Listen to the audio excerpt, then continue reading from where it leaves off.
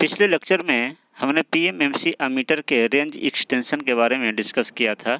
इस लेक्चर में हम P M M C voltmeter के रेंज एक्सटेंशन के बारे में डिस्कस करेंगे।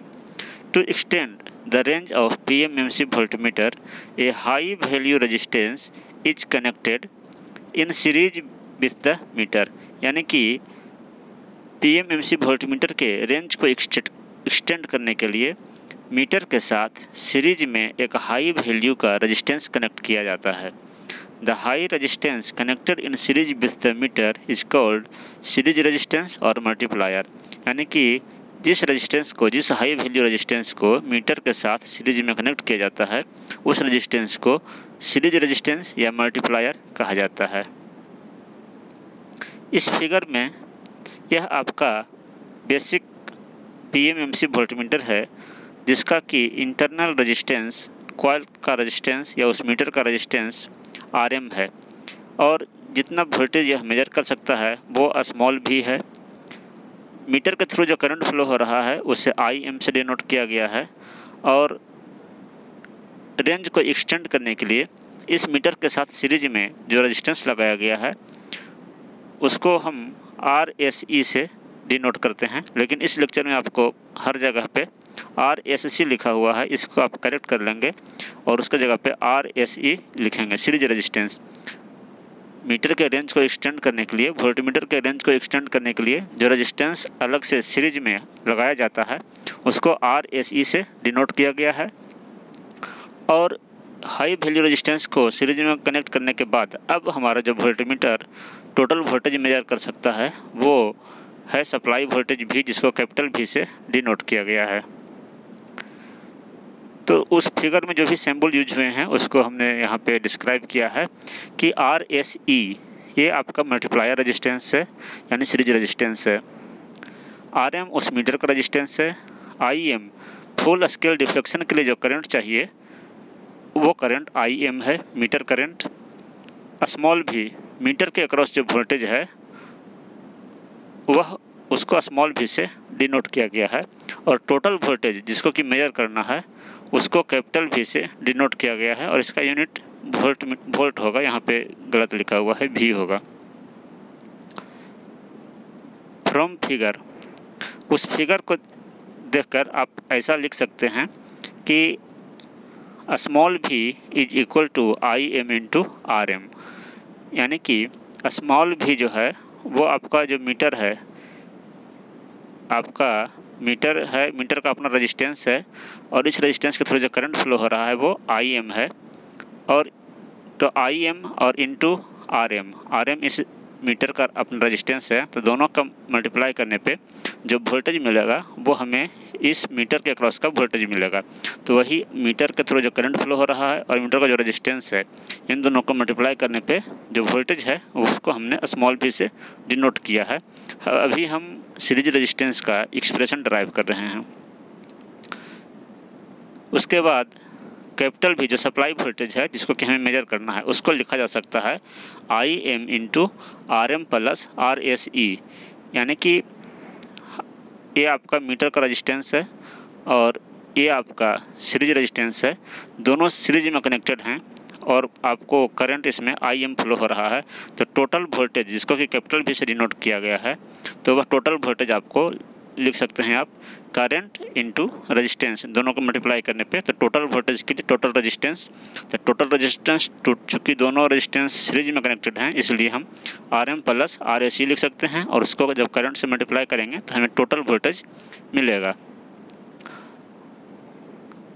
Ratio of total voltage and the voltage across the meter is called multiplying factor for multiplier यानी कि टोटल वोल्टेज हमें जितना मेजर करना है और मीटर का जो रेंज एक्सटेंड करने के पहले जो कैपेसिटी थी मेजर करने की, जिसका स्मॉल भी लिखा गया है, इन दोनों के रेशियो को मल्टीप्लाइंग फैक्टर कहा जाता है, जिसको एम से डिनोट किया जाता है।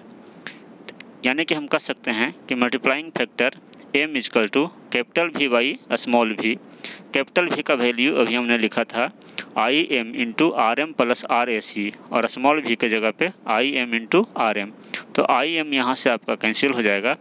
तो आपका बचेगा one plus R S E बटा आर एम यानी कि आई एम कैंसिल करने के बाद आर एम से भी इसको आप डिवाइड कर देंगे तो ये आपका one plus R A C बटा आर एम बचेगा।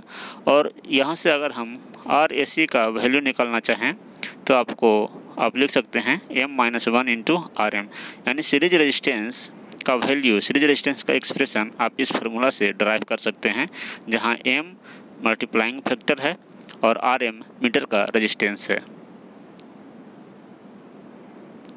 Other methods to extend range of P M M C voltmeter P M M C voltmeter के रेंज को एक्सटेंड करने के अदर मेथड्स भी हैं। और इस मेथड का उपयोग जिस वोल्टीमीटर में किया जाता है, उसको मल्टी रेंज वोल्टीमीटर कहा जाता है। तो पहले हम इसमें भी दो प्रकार के मेथड हैं। पहला है इंडिविजुअल मल्टीप्लायर इंडिविजुअल मल्टीप्लायर का यूज़ करके वोल्टीमीटर के रेंज को एक्सटेंड किया जा सकता है। तो पहले हम इंडिविजुअल मल्टीप्लायर के बारे में डिस्कस करते हैं। The range of P M M C voltmeter can be extended by using number of multipliers and a selector switch यानी कि P M M C voltmeter के रेंज को एक्सटेंड करने के लिए कई सारे मल्टीप्लायर उसमें एक साथ लगा हुआ होता है और एक सिलेक्टर स्विच इन दोनों की मदद से ये नंबर ऑफ़ मल्टीप्लायर कई सारे मल्टीप्लायर और सिलेक्टर स्विच की मदद से हम वोल्टमीटर के रेंज को एक्सटेंड कर सकते हैं।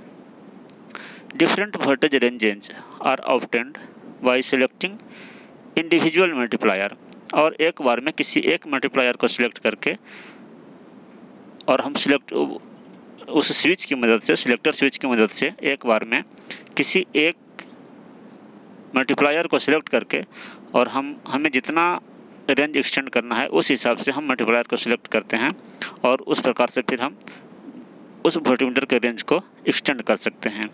Such a meter is called individual multiplier voltmeter और इस प्रकार के मीटर को इंडिविजुअल मल्टीप्लायर वोल्टीमीटर कहा जाता है।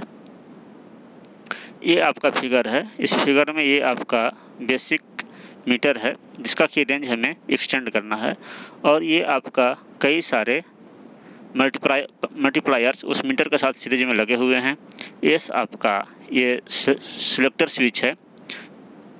हमें कितना रेंज एक्सटेंड करना है, उस हिसाब से हम सिलेक्टर स्विच की मदद से और उस वैल्यू के रेजिस्टेंस को अप्रोप्रिएट रेजिस्टेंस को कनेक्ट करते हैं और तब हमें हमें अप्रोप्रिएट रीडिंग मिलता है।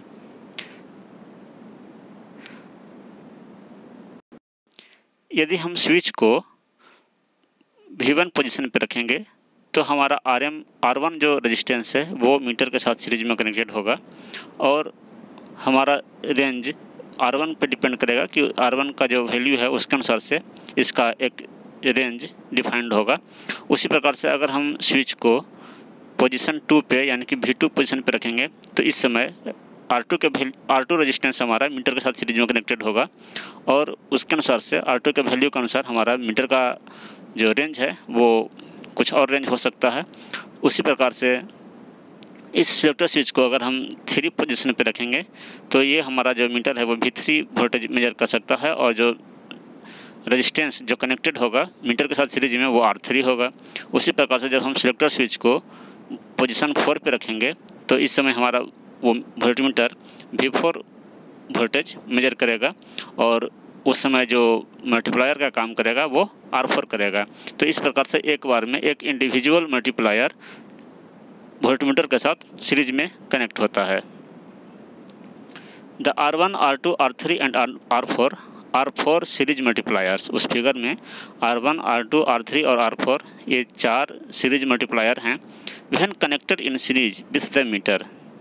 They can give four different voltage ranges यानी कि जब उन मल्टीप्लायर्स को सीरीज़ मीटर के साथ सीरीज़ में कनेक्ट किया जाता है।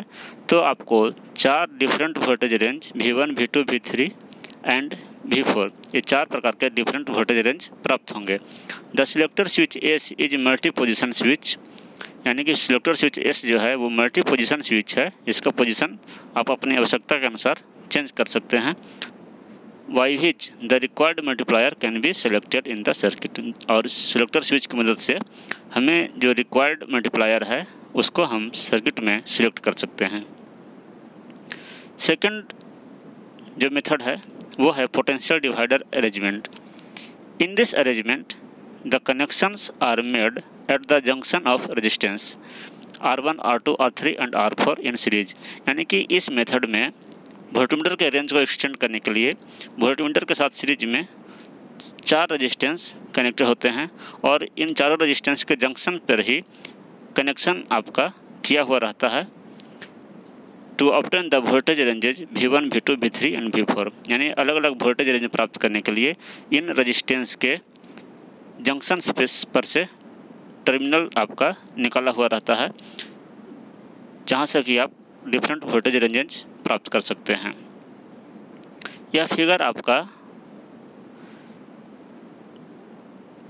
यह फिगर आपका पोटेंशियल डिवाइडर अरेंजमेंट को शो कर रहा है, जिसमें कि यह आपका बेसिक मीटर है, जिसका कि आपका इंटरनल रेजिस्टेंस आरएम है, और इसका जो अपना जो वोल्टेज मेजर करने का जो रेंज था, वो स्मॉल भी है। इसके साथ R one R two R three and R four ये चार रजिस्टेंस सीरीज़ में कनेक्टेड हैं। अगर हमें वी वन वोल्टेज मेजर करना है तो उस समय आपका सिर्फ़ आर वन रजिस्टेंस मीटर के साथ सीरीज़ में होगा। बाकी सारे रजिस्टेंस जो है वो लोड के साथ सीरीज़ में कनेक्टेड होंगे। उसी प्रकार से अगर हमें वी टू मेजर करना है वी टू वोल्टेज अगर मेजर करना है तो उस समय आपका आर वन और आर टू ये दोनों रजिस्टेंस मीटर के साथ सीरीज़ में होंगे। बाकी रजिस्टेंस लोड के साथ सीरीज़ में होंगे। अगर हमें वी थ्री वोल्टेज मेजर करना है तो उस केस में आर वन, आर टू और आर थ्री, ये तीन वोल्टेज ये तीन रजिस्टेंस सीरीज़ में होंगे और आर फोर रजिस्टेंस लोड के साथ सीरीज़ में कनेक्टेड होगा। अगर हमें वी फोर वोल्टेज मेजर करना है, उस केस में ये चारों रजिस्टेंस आपस में सीरीज़ में कनेक्टेड होंगे और इस प्रकार से हम डिफरेंट वोल्टेज रेंजेज प्राप्त कर सकते हैं मीटर का वोल्टमीटर का रेंज एक्सटेंड कर सकते हैं। और इसका मैथमेटिकल एनालिसिस हम उसी प्रकार से कर सकते हैं, जैसा कि हमने इस लेक्चर का स्टार्टिंग में किया था। ठीक उसी प्रकार से इसका हम मैथमेटिकल एनालिसिस भी कर सकते हैं। तो इस लेक्चर में हमने पीएमएमसी वोल्टीमीटर के रेंज एक्सटेंशन के बारे में डिस्कस किया। नेक्स्ट लेक्चर में हम लोग पीएमएमसी इंस्ट्रूमेंट के रेंज एक्सटेंशन पर बेस्ट कुछ न्यूमेरिकल्स डिस्कस करेंगे। Thank you